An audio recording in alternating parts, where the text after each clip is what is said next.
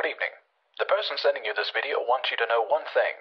You're worth more than chicken nuggets. Now let that sink in. This person is saying that you're worth more to them than food.